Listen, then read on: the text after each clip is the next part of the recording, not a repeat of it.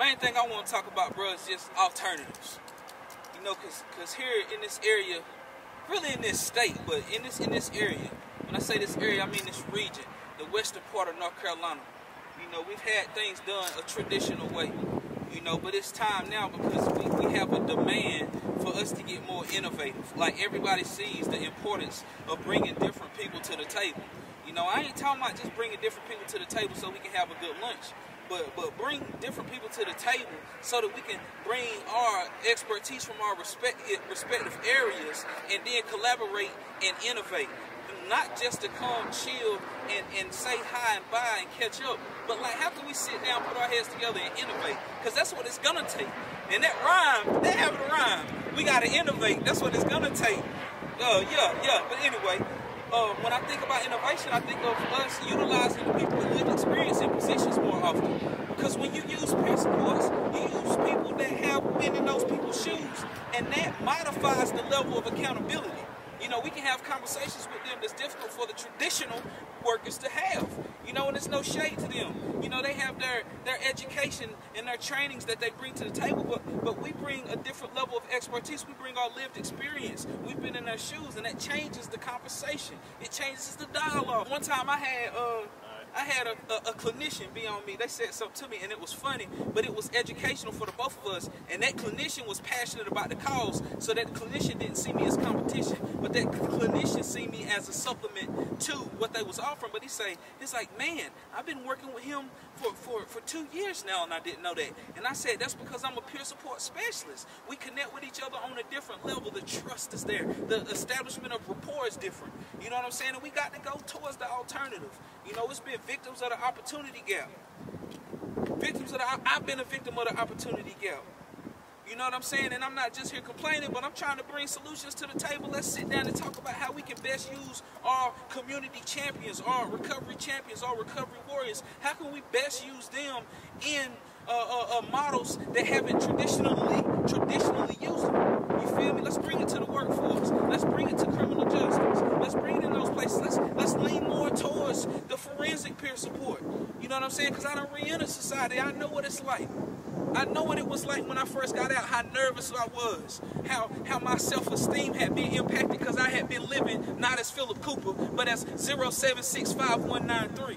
You know what I'm saying? And when I got out, I was I was intimidated by everything, and ain't nobody know that I had to keep that bottled inside. I was traumatized. Bringing alternatives to the table so we can have a have a larger impact on our community.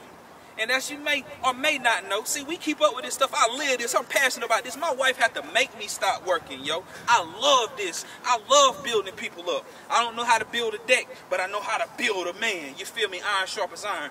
But I just got an article the other day I seen Donald Trump from the first step. And that's one thing that I salute Donald Trump for, you feel me? Because he is about second chances. I mean, it's a good business move if you look about it. If you look about how much it's costing to, to incarcerate an individual, how much it's costing as opposed to them contributing, man, that's an impact on not just workforce development, not just public safety, but I'm talking about the growth, the growth, gross domestic product.